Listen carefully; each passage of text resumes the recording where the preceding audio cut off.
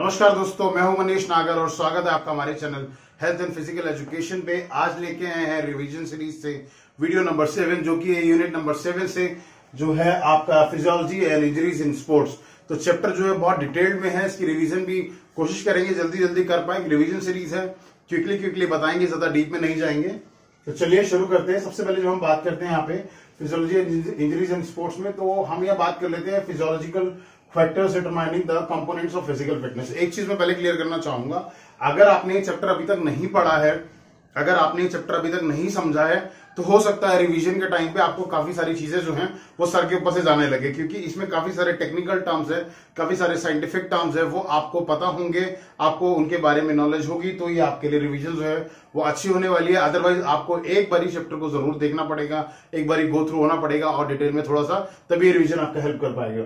चलो स्टार्ट करते हैं फिर physiological factors determining the components of physical fitness तो ऐसे ऐसे कौन से फिजियोलॉजिकल फैक्टर्स हैं जो इफ़ेक्ट करते हैं आपके फ़िज़िकल फिटनेस को फ़िज़िकल फिटनेस के कंपोनेंट्स को? तो जो कंपोनेंट्स है फ़िज़िकल फिटनेस के, यहाँ पे वो आगे strength speed endurance and flexibility agility की हम यहाँ बात नहीं करने वाले।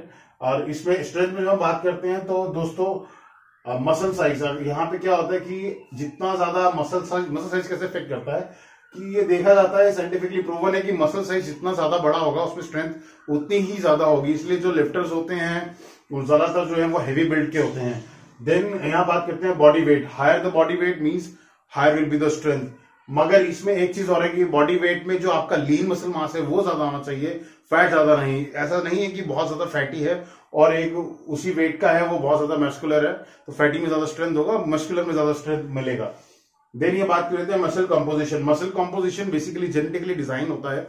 मसल्स में दो तरह के फाइबर्स होते हैं, जो एक होता है फास्ट ट्विच फाइबर्स यानी एक होता है slow twitch fibers fast twitch fibers को व्हाइट फाइबर्स भी कहा जाता है स्लैंग में स्लो टेज को रेड फाइबर्स तो होता क्या है दोस्तों, जिसमें फास्ट ट्विच फाइबर ज़्यादा होंगे, उसका मसल स्ट्रेंथ ज़्यादा होगा, स्पेशली जो एक्सप्लोसिव स्ट्रेंथ उसको चाहिए होता है, जो एक्सप्लोसिव जहाँ पे जिन गेम्स के अंदर ज़रूरत पड़ती है फॉर एग्जांपल बॉक्सिंग जिसे पंच एक्सप्लो हिट करना है या आप ब्रॉड जंप कर रहे हैं, उसमें एक्सप्लोसिव स्ट्रेंथ चाहिए। तो जितना ज़्यादा आपका white twitch fibre fast twitch fibre ज़्यादा होगा, उतना ज़्यादा आपका स्ट्रेंथ होगा।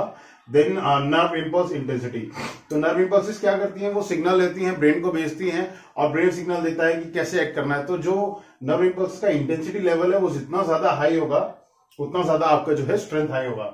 देन नेक्स्ट हम बात करते हैं स्पीड के ऊपर। स्पीड में पहला पहला पॉइंट बनता है nerve impulse excitability again nerve impulse आप लोग समझ चुके हैं एक्साइटेबिलिटी मीन्स एक एबिलिटी कितनी जल्दी वो एक्साइट करते हैं, कितनी जल्दी वो चीज़ को अगेन सिग्नल ब्रेन तक देती है और क्विकली मूव करती है. That is excitability then next is muscle composition इसमें भी यही है दोस्तों, जितना ज़्यादा जितना ज़्यादा फास्ट स्विच फाइबर्स होंगे जितना ज़्यादा वाइट फाइबर्स होंगे, उतने ज़्यादा जो है बॉडी में स्पीड जो है बढ़ेगी। ये फाइबर्स को चेंज नहीं कर सकते हम लोग। ये जेनेटिकली डिज़ाइन होते हैं, किसी की बॉडी में फास्ट ट्वेस्ट ज़्यादा होते हैं, किसी की बॉडी में स्लो ट्वेस्ट फाइबर ज़्यादा होते हैं। देन स्ट्रेंथ यस अगर स्ट्रेंथ ज़्यादा है बॉडी में जो मसल यूज़ हो रही है ड्यूरिंग कोई भी स्पीड एक्टिविटी सपोज़ आपने स्पीडीली किक करना है फुटबॉल के अंदर एकदम से, और उसमें जो मसल लेग्स मसल है, वो जितनी ज़्यादा स्ट्रेंथ उसमें होगी इतनी स्ट्रांग होगी, उतना ज़्यादा जो है वो स्पीड से किक कर पाएँगे देन फ्लेक्सिबिलिटी ऑब्वियसली जितना ज़्यादा मसल फ्लेक्सिबल है, उतना ज़्यादा, क्योंकि स्पीड में क्या होता है, दो मूवमेंट चलती है कंट्रैक्शन एंड रिलैक्सेशन तो उतना जल्दी वो उतना ज़्यादा कंट्रैक्ट कर पाएगा बेटर रेंज ऑफ़ मोशन होगा, उतना जल्दी रिलैक्स करेगा तो जितना ज़्यादा फ्लेक्सिबल होगा, उतना ज़्यादा स्पीड भी उसके अंदर होगा, इसीलिए जो स्पोर्ट्स पर्सन है, जो वो सभी अपनी स्ट्रेंथ की एक्सरसाइजेस भी करते हैं फ्लेक्सिबिलिटी की भी करते हैं, सारे मोटर कंपोनेंट्स को स्ट्रॉन्ग करते हैं। Then next is energy reserve होता क्या है कि अगर स्पीड को मेंटेन करना है थोड़ा लंबे टाइम तक तो आपके एनर्जी रिज़र्व है, जो वो थोड़े ज़्यादा होने चाहिए। अगर एनर्जी की बॉडी में नहीं होगी क्विकली मूवमेंट किया, कुछ सेकंड्स के अंदर और विद इन वो एनर्जी रिज़र्व वहाँ पे खाली हो गए हैं तो स्पीड मेंटेन नहीं रह पाएगी। तो वो आपका अच्छा होना चाहिए तो बेटर होगा and metabolic power yes energy reserve metabolic power again the same thing next हम बात करते हैं एंड्योरेंस एंड्योरेंस आपको पता ही है किसी भी चीज़ को under the condition of fatigue करते रहना दैट इज़ एंड्योरेंस एंड्योरेंस में क्या है? Aerobic capacity aerobic capacity higher होनी चाहिए। जितनी एरोबिक कैपेसिटी हायर होगी, जितना जल्दी आप ऑक्सीजन को इनटेक कर रहे हैं अपटेक कर रहे हैं, उतना बेटर आपका एंड्योरेंस लेवल होगा। Then lactic acid tolerance lactic acid दोस्तों, इसको कहते हैं कि लैक्टिक एसिड बॉडी में कब बनता है? जब फटीक हो जाती है। जब थकने लगता है इंसान तो बॉडी में लैक्टिक एसिड फॉर्मेशन होने लगती है। आप कह सकते हैं फॉर्मेशन होती है तो थकने लगता है। तो उसका टॉलरेंस लेवल बॉडी का कितना ज़्यादा है? जितना ज़्यादा टॉलरेंस लेवल होगा, उतना बेटर इंड्योरेंस होगा। Economy of movement economy of movement की अगर हम बात करें तो मूवमेंट जो हो रही हैं, वो कितनी ज़्यादा इकोनॉमिक है, उसमें मिनिमल एनर्जी आपकी जो है वो लग रही है और मैक्सिमम आउटपुट मिल रहा है. That is economy of movement unnecessary movements ना हो, ताकि आपकी जो इकोनॉमी जो आपकी मूवमेंट्स में एनर्जी है, वो मिनिमम रहे, बची रहे, वो आपका इंडोरेंस लेवल बढ़ाएगी. देन मसल कंपोजिशन इसमें क्या है? इसमें अगर फास्ट रेट ज़्यादा हुए तो इंडोरेंस लेवल लो हो जाएगा. तो इसमें आपका क्या है कि जो स्लो टेच फाइबर्स है रेड फाइबर्स है मसल फाइबर्स है, वो अगर ज़्यादा बॉडी में कंपोजिशन में है तो आपका इंड्योरेंस लेवल जो है वो हायर रहेगा। देन नेक्स्ट हम बात कर रहे थे फ्लेक्सिबिलिटी की। मसल स्ट्रेंथ मसल स्ट्रेंथ जितना ज़्यादा होगा, उतना ज़्यादा फ्लेक्सिबिलिटी बॉडी के अंदर इंक्रीज होगा। अगेन वो फुटबॉल का एग्जांपल ले लेते हैं। एक फुटबॉल किक मारना है सपोज़ हाई किक मारना है हाई किक मारना है तो उसमें जितना ज़्यादा मसल में स्ट्रेंथ है, उतना ज़्यादा मसल जब स्ट्रेंथ लगाते हैं तो उतना दूर तक या उतना हाइट उतना हाइट तक किक जाता है। तो फ्लेक्सिबिलिटी ऑब्वियसली से इंक्रीज होती है। ज्वाइंट स्ट्रक्चर ज्वाइंट स्ट्रक्चर की अगर हम बात करें यहाँ पे तो कुछ ज्वाइंट्स ऐसे होते हैं जिनमें फ्लेक्सिबिलिटी लेवल बहुत ज़्यादा है। किसी में कम है। Suppose for example shoulder joint shoulder joint के अंदर सबसे ज़्यादा मूवमेंट्स होती हैं। आप शोल्डर ज्वाइंट को आप खुद करके देखिए, आप कितने एंगल्स पे रोटेट कर सकते हैं। आप बहुत सारी मूवमेंट्स उसके अंदर कर सकते हैं। एडक्शन एबडक्शन है रोटेशन है हाइपरफ्लेक्शन है फ्लेक्शन एक्सटेंशन है। वही कुछ ज्वाइंट्स ऐसे जिनके ऊपर लिमिटेड मूवमेंट होती है। जैसे कि आपका नी है, आपका एल्बो है। देन हम यहाँ बात कर लेते हैं नेक्स्ट एज एंड जेंडर जितना ज़्यादा ये देखा गया है कि जितना ज़्यादा आपका एज जितनी ज़्यादा एज बढ़ती है, उतनी फ्लेक्सिबिलिटी लेवल नीचे आता रहता है। तभी बच्चों में जो फ्लेक्सिबिलिटी वो ज़्यादा होती है। एंड जेंडर की हम बात करें फीमेल्स का flexibility level as compared to men's as compared to males better होता है। हाँ वो ट्रेनेबल है, उसको ट्रेन किया जा सकता है कि ट्रेन करके आप इंक्रीज कर सकते हैं। बट अगर हम बात करें कि यहाँ पे वैसे तो फीमेल्स के अंदर ज़्यादा होता है मसल स्ट्रेचेबिलिटी मसल्स की एबिलिटी स्ट्रेच करने की मसल कितना ज़्यादा स्ट्रेच कर पाती हैं, ये फ्लेक्सिबिलिटी को इंक्रीज करता है then body temperature body temperature जैसे हम वार्म अप करते हैं बॉडी थोड़ा सा गर्म होती है हीट होती है, उस टाइम में बॉडी जो है फ्लेक्सिबिलिटी थोड़ी ज़्यादा गेन करती है, ज़्यादा फ्लेक्सिबल होती है. देन पास इंजरीज होता क्या है कि अगर पास में कोई इंजरीज रही है तो वो इंजरीज हम रिकवर करती हैं फाइब्रस टिश्यूज बन जाते हैं, और जो आपका जो फ्लेक्सिबिलिटी लेवल है, वो रिड्यूस हो जाता है. ये जो भी लोगों का ऐसा हुआ है कि इंजरीज उनको हुई है, उसके बाद उन्होंने रिकवर किया है तो वो देखेंगे स्पेशली जहाँ इंजरीज हुई थी, उस एरिया की फ्लेक्सिबिलिटी इफ़ेक्ट हुई है। हंड्रेड परसेंट इफ़ेक्ट होती है। देन हम यहाँ बात कर लेते हैं नेक्स्ट जिसके टॉपिक बनता है effects of exercise on different system तो पहले बात कर लेते हैं कार्डियोवास्कुलर सिस्टम पे। जल्दी जल्दी बात करेंगे रिविजन सीरीज़ है बार बार आपको रिमाइंड करना भी ज़रूरी है। तो यहाँ पे दोस्तों होता है कि शॉर्ट टर्म इफेक्ट्स भी है लॉन्ग टर्म भी है। शॉर्ट टर्म में बेसिकली क्या होता है कि जैसे कार्डियोस्कुलर एक्सरसाइज आप कोई भी कर रहे हैं रनिंग कर रहे हैं जंपिंग कर रहे हैं स्विमिंग कर रहे हैं तो आप देखेंगे हार्ट रेट हार्ट रेट बढ़ जाता है ब्लड फ्लो इंक्रीज हो जाता है स्ट्रोक वॉल्यूम इंक्रीज हो जाएगा कार्डिक आउटपुट बढ़ जाएगा ब्लड प्रेशर बढ़ जाएगा। वहीं अगर लॉन्ग टर्म की बात करें तो हार्ट साइज़ जो है, वो बढ़ जाता है। Slow heart rate, slower heart rate. होता क्या है कि जो आपका heart rate actual heart rate है, अगर आप नॉर्मल कंडीशन में बैठे आप हार्ट रेट अगर चेक करें वन मिनट का सपोज़ आपका सत्तर, पचहत्तर, अस्सी आया, वहीं अगर आप कार्डियोस्कुलर एक्टिविटीज़ लॉन्ग टर्म करते आ रहे हैं तो आपका जो रेस्टिंग हार्ट रेट है, वो रिड्यूस हो जाएगा। It it it will be below seventy sixty हो सकता है फिफ्टी फाइव हो सकता है। जो इंटरनेशनल प्लेयर्स है, उनका तो फिफ्टी फिफ्टी के आसपास रहता है जनरली और क्या इसमें स्ट्रॉक वॉल्यूम आपका बढ़ जाता है आपका ब्लड वॉल्यूम बॉडी का बढ़ता है कैपिलरी नेटवर्क्स आपका जो है वो और स्ट्रांग हो जाता है। रिकवरी रेट कितना जल्दी रिकवर कर पाते हैं फटीक नहीं आने देते, वो आपका बेटर हो जाता है। देन हम बात कर लेते हैं next effects of exercise on respiratory system respiratory system सांस लेने के लिए जो आपका सिस्टम चाहिए, जिस किस तरह से बॉडी में ऑक्सीजन जाता है, कैसे कैसे उस बारे में बात कर लेते हैं। तो इसमें क्या होता है, जो आपका रेस्पिरेटरी रेट है, वो इंक्रीज हो जाता है। डीपर ब्रेथ आप देखेंगे ब्रेथ जो है, जब जो डीप होती है, गहरी ब्रेथ होती है हम लंबी लंबी साँसें उसमें लेने लगते हैं। उसको ताकि ऑक्सीजन ज़्यादा से ज़्यादा हम इनहेल कर पाए और सप्लाई कर सके।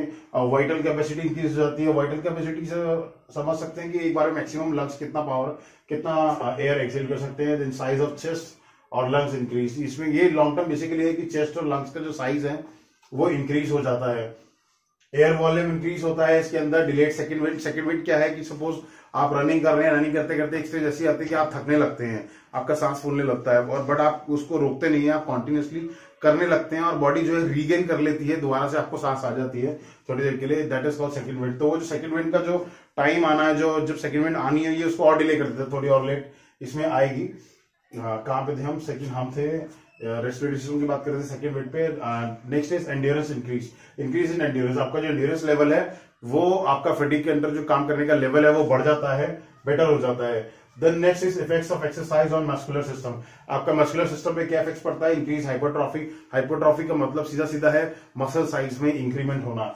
तो आपका हाइपोट्रॉफी होता है इंक्रीज कैपिलरी डेंसिटी कैपिलरीज की जो डेंसिटी और ज़्यादा डेंस हो जाती है बेटर मसल टोन मसल्स की जो शेप है, वो बेटर लगने लगती है बेटर पोस्चर ऑब्वियसली बॉडी का जो पोस्चर है, वो बेटर हो जाता है, अच्छे लगने लगते हैं आप डिलेड फटीक फटीक लेवल जो थकने का जो टाइम है आपका, वो और लंबा हो जाता है, और देर से आता है, आपको फटीक जो है, देर से आती है, जल्दी नहीं थकते आप रिएक्शन टाइम इंक्रीज हो जाता है, आपका बेटर हो जाता है, जो मस्कुलर सिस्टम का फैट डिपॉजिट डाउन होता है ऑब्वियसली जब एक्सरसाइज रेगुलर करेंगे तो बॉडी का जो फैट परसेंटेज है बॉडी फैट बर्न करती है, वो धीरे धीरे नीचे आना शुरू कर देता है and swifter muscle movement muscle movement जो है, वो और ज़्यादा क्विकली एंड स्विफ्टली होने लग जाती है बेटर हो जाती है।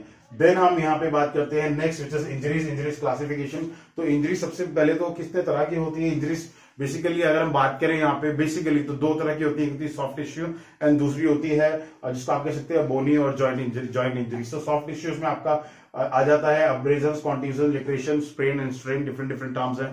पढ़ लेना एक बार, इतना ज़्यादा एक्सप्लेन यहाँ नहीं करेंगे, वरना वीडियो बहुत ज़्यादा लंबा हो जाता है, और ज़्यादा लंबा वीडियो जाता है तो लोग इंटरेस्ट नहीं लेते हैं, देखते नहीं है। देन नेक्स्ट इज़ बोनी और जॉइंट इंजरी जिसमें फ्रैक्चर्स आ जाते हैं। फ्रैक्चर्स आप सभी लोग जानते होंगे। इसको एक्सप्लेन नहीं करेंगे। इसमें simple compound greenstick comminuted and oblique fractures हो जाते हैं। डिफरेंट डिफरेंट टर्म है इसकी।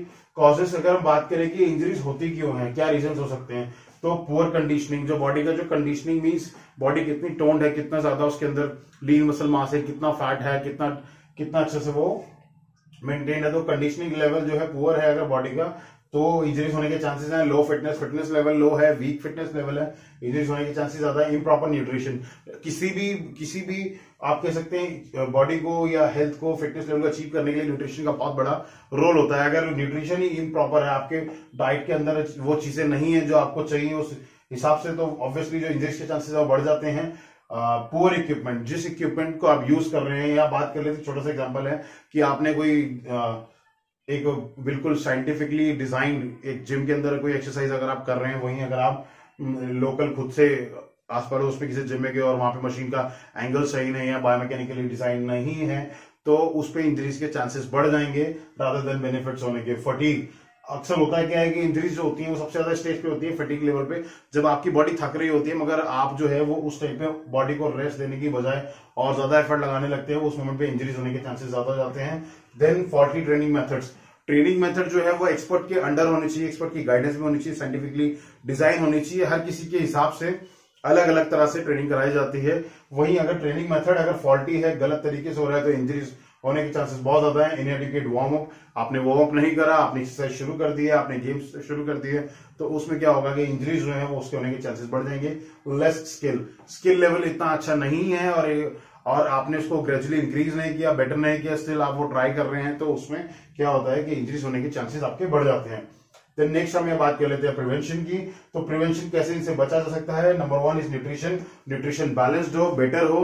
अगर न्यूट्रिशन बैलेंस है तो आपकी मसल्स को, आपकी बॉडी को जो न्यूट्रिशन जो फ्यूल चाहिए, वो उसको प्रॉपर मिलेगा तो इंजरीज इतनी जल्दी से आपको नहीं होगी। Second is warm up and cool down तो बॉडी को किसी भी एक्सरसाइज को, किसी भी गेम को करने से पहले बॉडी को वार्म अप करना ज़रूरी है। देन वही अगेन आपको जब आप फिनिश कर लेते हैं अपना वर्कआउट अपना गेम अपना स्पोर्ट तो आपको कूल डाउन करना भी उतना ही ज़रूरी है ताकि बॉडी जो है वो नॉर्मल टेम्परेचर में अपने वापस से आ जाए। देन सेफ्टी मेजर्स जितने भी सेफ्टी मेजर्स होते हैं, चाहे वो सेफ्टी इक्विपमेंट्स हो, चाहे वो सेफ्टी आपके रूल्स एंड रेगुलेशंस हो, उनको फॉलो करना बहुत ज़रूरी है अगर आपको इंजरी से बचना है। नेक्स्ट इज़ एडिकेट इक्विपमेंट जो इक्विपमेंट आपके लिए ज़रूरी है, आपके हिसाब से ज़रूरी है उसको यूज़ करना, उसको ही यूज़ करें तो इंजरीज कम से कम होगी। एक एग्ज़ाम्पल आपको दे देते हैं कि सपोज़ एक एक सात या आठ साल का बच्चा है और एक एक एडल्ट है, सात आठ साल का बच्चा जो है, वो एडल्ट का, आप समझ लीजिए कि अगर बैट बड़ा बैट लेके खेलना चाह रहा है तो बैट जो है उसके हिसाब से वो बहुत बड़ा है और उससे उससे खेलते खेलते उसको इंजरीज होने के चांसेस ज़्यादा है। वहीं अगर वो अपनी एज के हिसाब से एक छोटा बैट, एक डिज़ाइन जो उसकी एज के हिसाब से प्रॉपर होना चाहिए, उसको यूज़ कर रहा है तो उसकी इंजरीज होने के चांसेस कम है। ये मैंने एक बहुत छोटा सा और आई थिंक बेकार एग्ज़ाम्पल आपको दिया है बट समझ में आ गया होगा।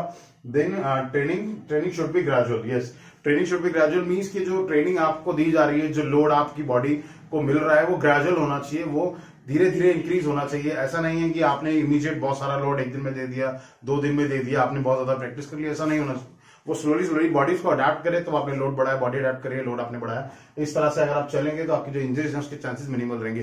तो दोस्तों, ये था आज का चैप्टर आज के बारे में। इसमें एक चीज़ और एड कर ले, कर लेते हैं। फ़र्स्ट एड फ़र्स्ट एड आपको पता होगी।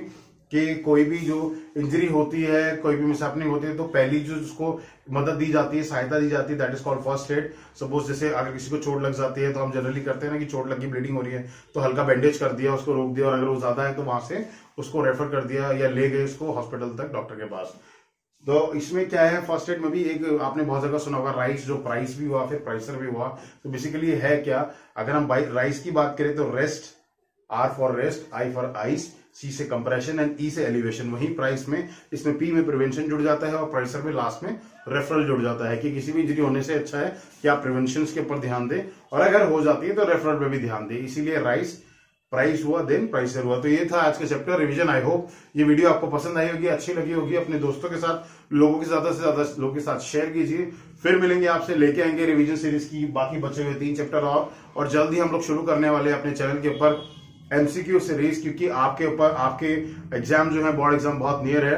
चौबीस फरवरी को फ़िज़िकल एजुकेशन का पेपर है। उसके पहले आपका एमसीक्यू सारे चैप्टर्स का ले आएँगे। फिर इंपॉर्टेंट क्वेश्चंस भी आपके लिए ले आएँगे कि किस किसमें आप जो है मैक्सिमम कवर कर सकते हैं। चलिए, विदा लेते हैं। जय हिंद, जय